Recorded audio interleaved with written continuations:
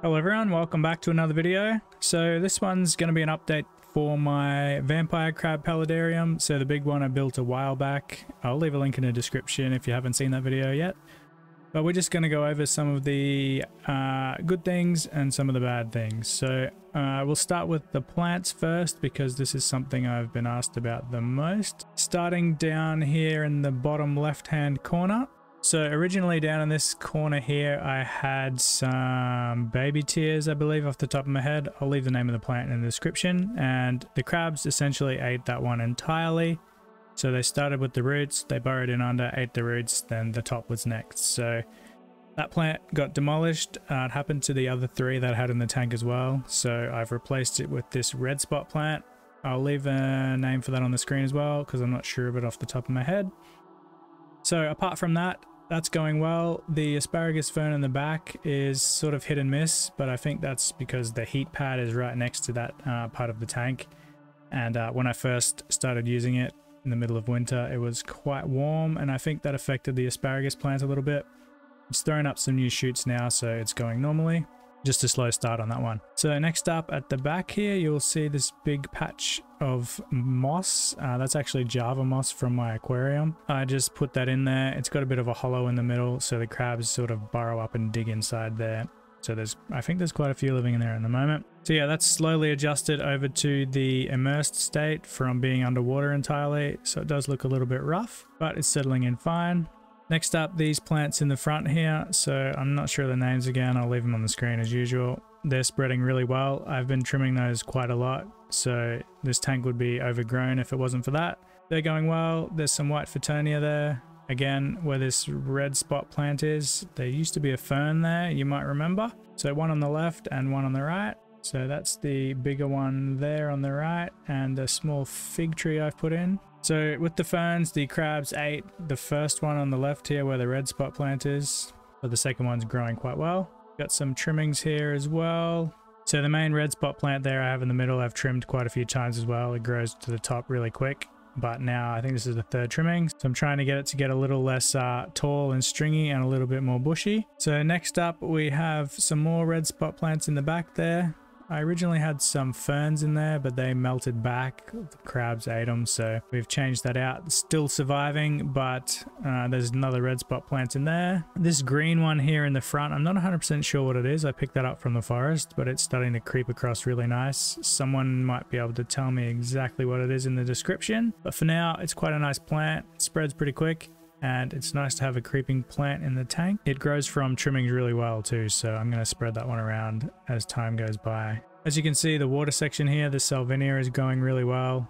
I like to keep that pretty much across the entire thing because the crabs eat it and it's good for the water quality. Okay, so moving on to the moss on the log that I originally got. This stuff here, you can see it sort of looks a little bit dry and it's primarily because of the light. Uh, it's not that far away and it's on for quite a long time even with misting, it sort of dries it out a little bit. But uh, depending on what section, it is coming back quite strong. So I think it's going to grow in fine in some more time. I've made some adjustments with the light, so it shouldn't be too much of a problem.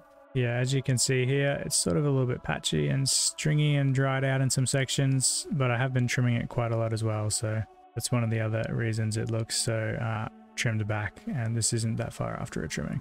So in the bottom section here, you can see the moss sort of died back a little bit as well. I believe it got a little bit too waterlogged, uh, but it's starting to come back again. Uh, there's some fern moss popping up in there as well, which is nice. It's quite a nice looking moss. Here we have some Hydrocotyle Japan. Uh, I couldn't get this to grow in my aquarium, so I took the last little remaining bits out and it seems to be doing quite well in here. Hopefully that takes over. At the top here, I have some pennywort. Uh, this started with a tiny amount and it's going crazy, so I'm just leaving that grow. I'm tempted to leave it overgrow all of this moss section here, but we will see. It might help with some of the issues with the light being a little bit strong, but we'll see how it goes. It's actually hard to keep up with, it's growing so fast. Okay, so over on this side of the tank, I added another fern in the back corner here and a couple of uh, bigger rocks. So this was just to give the crabs a little bit more of a place to hide. So you'll see under here, uh, there's a lot of caves and crevices they've dug out, so that was definitely an addition. There is a lot of crabs in here, so that made a big difference. Another important change here, and one that I should have added when I first built the tank, is a little drainage uh, tube. So As you can see here, this one goes into the back of the water section. So this tank has two separated sections. So a water section at the front and a dry section at the back with clay balls in the bottom. So I've added this little airline tubing. It's just a little siphon hose and probably about once a week, I just drain it out and that just keeps the back section from filling up from condensation dripping down the glass. So you could probably do it every two weeks, but for now I'm just doing it once a week and draining a little bit of water out. So basically I just unclip it, lower it down, and then just let it siphon out. It's gravity fed, so it works really well. I just use a little syringe to start the suction and it drains out pretty quickly. So outside of that, probably the biggest problem with this tank was the lighting. So I have a 70 centimeter light on this tank, and as you can see here on the left, and you'll see on the right as well, doesn't quite cover the full length of the tank. So the plant growth on the far left in the back corner and the far right in the back corner is a little bit slower and some of the moss didn't go as well because it was a little bit dark.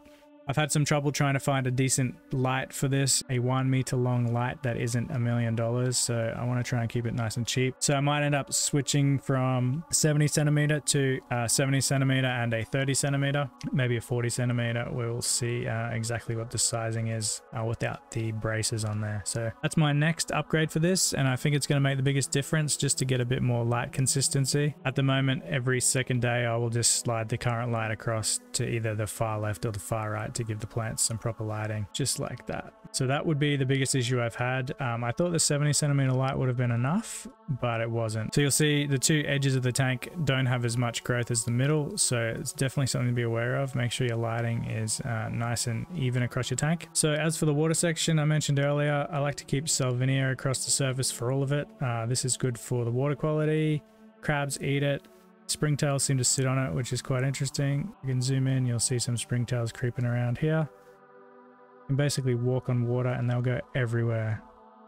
And the crabs eat them as well, so there's quite handy little live food source and they multiply so fast you don't really have to worry about them getting wiped out. As for the water section, um, I've got ramshorn snails and Malaysian trumpet snails. I wouldn't add the Malaysian trumpet snails again in the future. They're a bit of a pest. I started with two and there's probably about 200 in here now. While the crabs eat the snails, they seem to focus on the ramshorn snails the most. So the Malaysian trumpet snails don't really have a predator and they're kind of getting out of control. So I might have to do something about that in the future.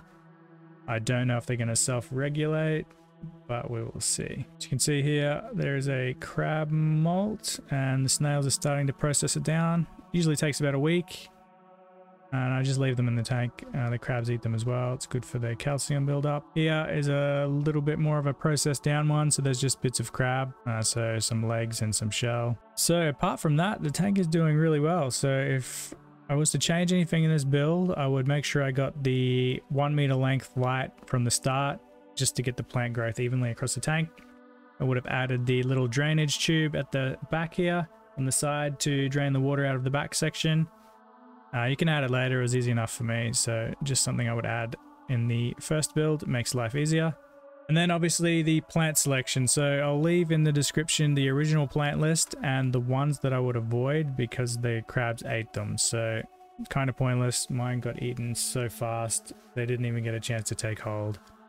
So I would avoid those entirely and I'll swap in the ones that actually worked. So the red spot plant, definitely a good addition to add. It grows fast, it looks pretty good, and the crabs like climbing on the leaves. So yeah, I think that wraps up this little update video. If you have any questions, uh, don't forget to ask in the comments. And as always, don't forget to like and subscribe, and I'll see you in another video. Thanks everyone, see you next time.